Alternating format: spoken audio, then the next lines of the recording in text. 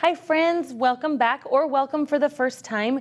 I'm so glad you're here. I'm really excited to learn more about coral reefs with you. Before we get started, make sure you have your paper um, and your pen or pencil that you're going to be using. You'll need it today because we're going to write a journal entry. And then also make sure that you have your turn and talk partner. Remember, it can be anyone. It can be a family member or a furry friend or a scaly friend. Um, it could be someone in your imagination that you would love to have a conversation with a book about.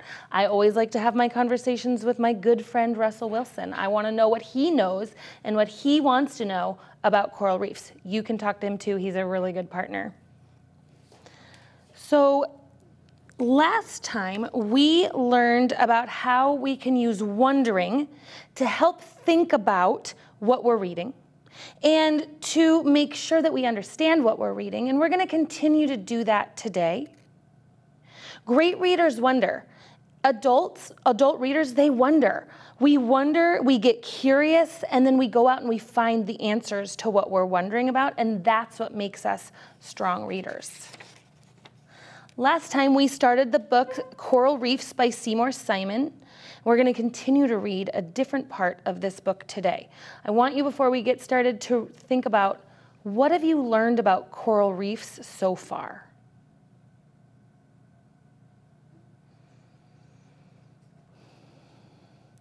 Yesterday, we learned about where you find coral reefs. We learned about what they're made of and how they form. Um, we got to look at some really cool coral reefs, different types of coral. We learned about my favorite one that looks like a brain. We um, also learned about some of the softer ones. And in these pictures, I saw some fish floating around, and I got to wondering about the fish that live in the coral reef. And so that's what I want to learn about today. I want to learn more about the fish in the coral reef. Today I'm going to read a section of this book that's all about the many animals that live in coral reefs. What do you think you know about animals in coral reefs? Turn to your partner.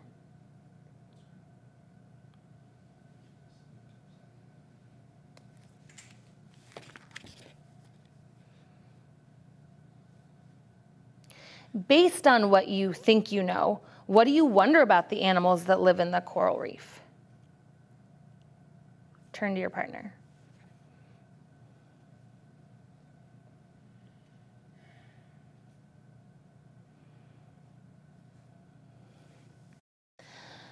So I'm wondering, I'm thinking about the fish that live in the coral reef. I wonder how they all live in harmony together under there. I wonder how they protect themselves from predators. I wonder what predators live down there. Um, I mean, are there sharks that live down there? How do you protect yourself from a shark if you're just a little fish? I have a lot of wonders about this, so I'm going to add them to my poster.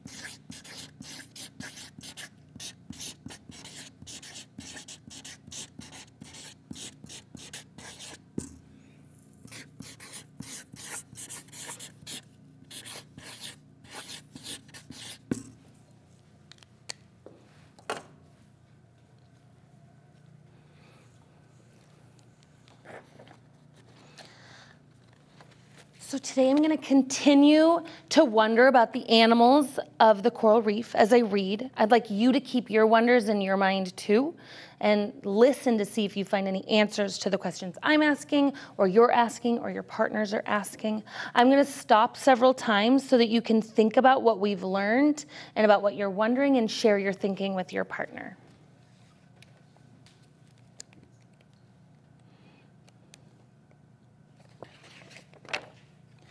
A coral reef is like a city with many different kinds of citizens fishes, crabs, clams, anemones, tube worms, algae, seaweed, and more. Whew, that's a lot. The reef provides shelters for thousands of fish species, such as reef sharks, mm. eels, parrotfish, angelfish, groupers, butterflyfish, pipefish, puffers, and rays the fish have adaptations that help them find food or escape from becoming food. An adaptation, they're characteristics that help animals survive in their habitat. The fish have adaptations that help them find food or escape from becoming food. Butterfly fish are brightly colored and boldly patterned reef fishes. The four-eyed butterfly fish has a large false eye spot on the base of its tail, similar to the eye spots on some butterfly wings. This may trick predators into attacking the wrong end, giving the butterfly fish a chance to escape. Clownfish may be easy to spot, but by swimming among the stinging tentacles of a giant anemone, they can avoid becoming a meal for larger fish. Here's that big eye over here. And there's, I recognize that guy, that little orange guy at the bottom. And over here is the eye that looks like an eye on the wrong side of the fish so he doesn't get chomped up. That's smart. Porcupine fish are recognized by the sharp spikes that cover their heads and bodies. Larger fish usually won't attack them, but just in case they do, a porcupine fish quickly puffs up with seawater into a spiky ball at least double its original size. A giant moray eel grows to more than six feet long. It hides within cracks and openings in a reef, perfectly blending in with the surrounding coral. Colorful parrotfish use their chisel-like teeth to scrape coral for algae. A chisel is a tool with a sharp edge that's used to chip away at something. Colorful parrotfish use their chisel-like teeth to scrape coral for algae. While eating, the parrotfish grinds the coral into the fine white sand found on tropical beaches. I think that parrotfish is so pretty. That one down at the bottom. Although its teeth are a little bit, those chisel-like teeth are a little bit crazy.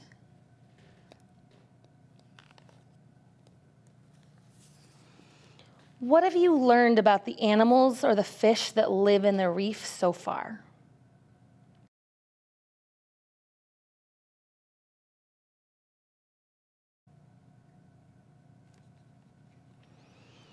What I wonder statements have been explained in the reading.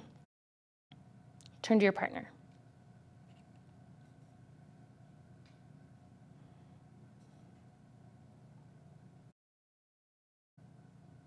What else are you wondering? Turn to your partner.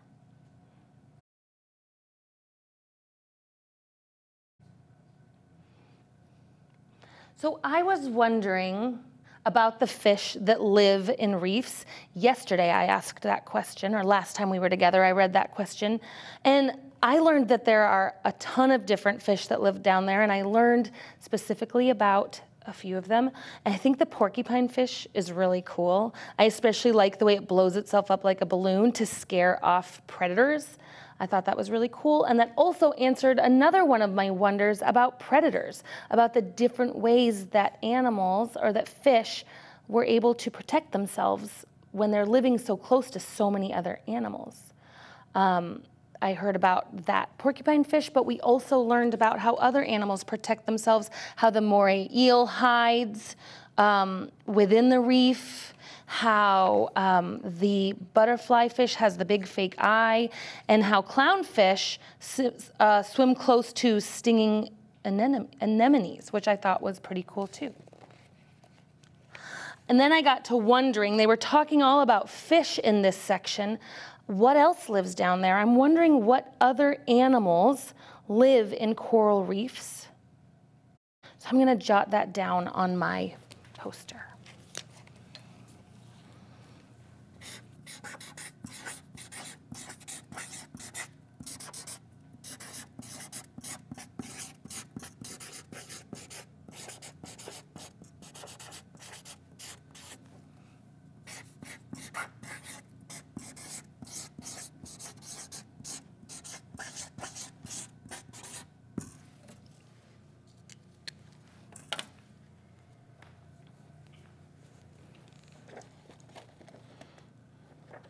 Remember, while I'm reading, you can be thinking about our wonders, the things that we're wondering, and listening to see if there's any information in the book that helps us answer those questions.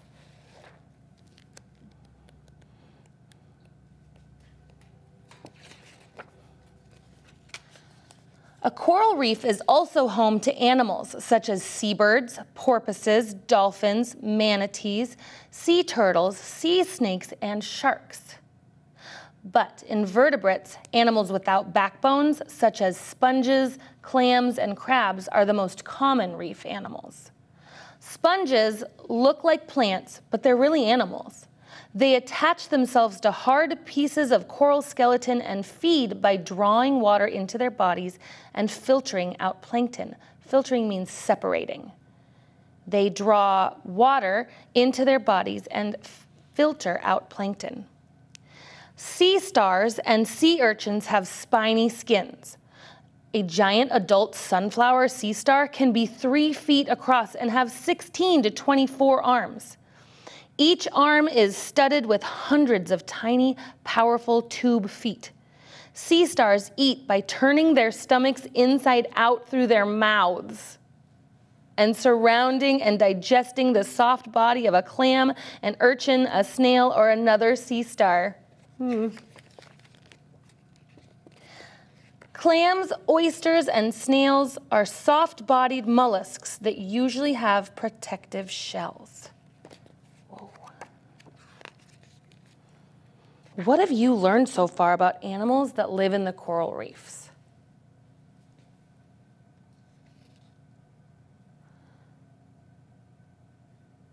What I wonder statements have been explained in the reading so far? Turn to your partner.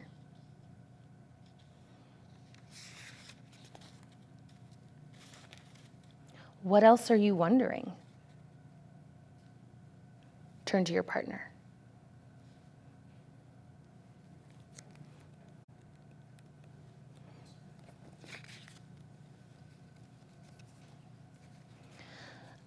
I thought this part was fascinating. Um, we learned about all types of animals that live in the reefs, about the sea sponges and the sea stars and the sea urchins. I thought that sea stars all had five arms, but we learned that the adult sunflower sea star could have up to 24 arms, which is pretty crazy. I'll show you a picture. Look at that. That's a lot of arms. We also learned that they eat by turning their stomachs inside out through their mouths and surrounding and di digesting the soft body of a clam, an urchin, or a snail, or a sea star. I had no idea. That's wild. Now I'm kind of wondering how other animals down there eat. I'm also wondering about other animals, I didn't hear anything about octopus. I wonder if octopus live in the reef because they're one of my favorite things to see when I take my daughters to the aquarium. We love to look for the octopus. So I'm wondering if they live down in the reef. I'm going to add that to my chart.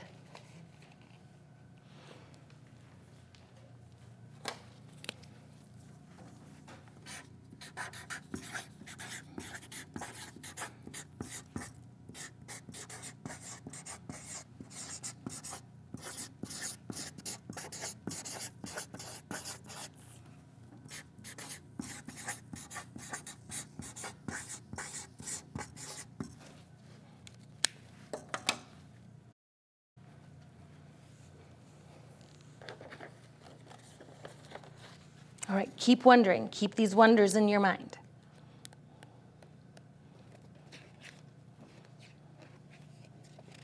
Clams, oysters, and snails are soft-bodied mollusks that usually have protected sh protective shells. Clams and oysters often lie buried in the sand or attach themselves to the hard coral. They eat by opening their shells and filtering plankton from the water. A clam can be as small as a thumbnail, or like the giant clam of Australia's Great Barrier Reef, it can grow more than four feet across and weigh over 500 pounds. Small mollusks, or some mollusks, such as the octopus, squid, and cuttlefish, don't have shells.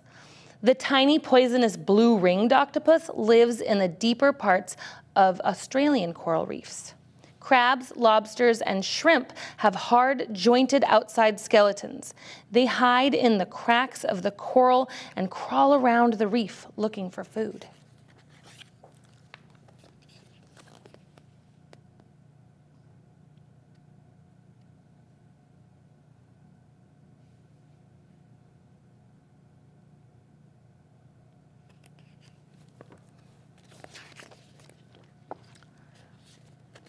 A coral reef at night is a living wall of tiny tentacled mouths, polyps, feeding on plankton. Nighttime provides cover for many small reef animals from predators. It is also when the eggs of countless sea creatures hatch. Most plankton animals go on a daily elevator journey, rising to surface waters as night falls and descending to the safety of deeper, darker waters at daybreak.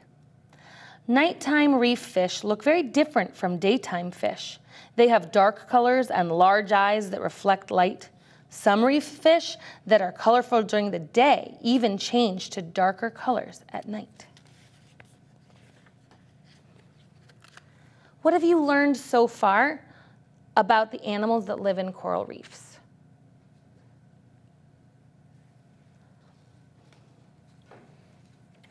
What I wonder statements have been explained in the reading so far. Turn to your partner.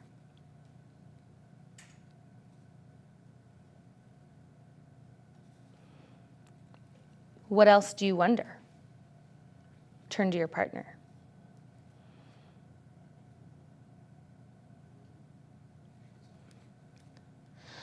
So I was wondering how different animals eat after I learned about the one that turns inside out. I was wondering how different animals eat. I was really wondering about how clams eat because they can't move, they just sit there. So I was really interested when I read the part about how they just open their big mouth and they the water comes in and they filter out their snacks, their algae snacks. I thought that was really cool and that answered one of my questions. I got to wondering though, I'm looking at all these beautiful animals and all of this beautiful coral. I'm wondering how humans are affecting the way that coral lives and the way that it grows. That's kind of a question uh, we read a couple weeks ago in my class. We read a book about global warming and we learned that it's having a big effect on a lot of things. So I'm wondering if global warming is affecting coral reefs and if humans are affecting coral reefs but we'll have to wait until next time to read and find out about that. So today for your IDR time, I'd like you to pick up a, an expository nonfiction book again. And before you start reading, I'd like you to think about what you wonder about the topic of the text. Then as you read, I want you to notice whether the text is answering those wonders, those questions, and I want you to notice how that helps you understand what you're reading.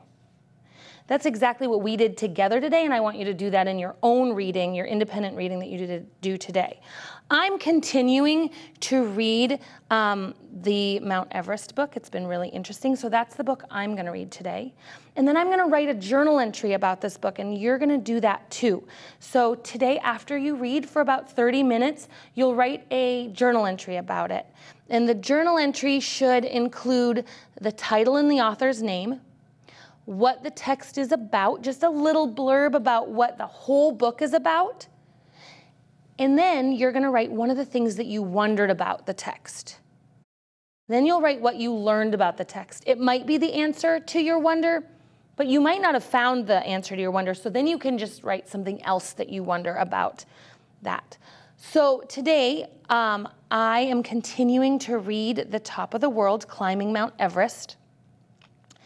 And I told you last time that I was really interested in who the first people were that um, climbed Mount Everest. And so I read a, a, section about that today, and then I wrote my journal entry about that. My journal entry is on the screen, and it says, The book I read is The Top of the World Climbing Mount Everest by Steve Jenkins. The text is about what you need to know and what you need to have to climb Mount Everest, the tallest mountain in the world. I wondered who the first person to reach the summit of Mount Everest was. I learned that it was actually two people. I learned that Edmund Hillary and Tenzing Norgay were the first people to successfully reach the summit on May 29, 1953. So today, when after you've read and after you've been wondering and looking for answers in your piece, I'd like you to write a journal entry like that one.